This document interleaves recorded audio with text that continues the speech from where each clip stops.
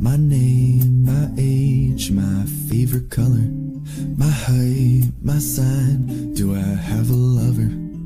What's my nationality? Here's some things that inspire me. My favorite food, my current mood, and my shoe size.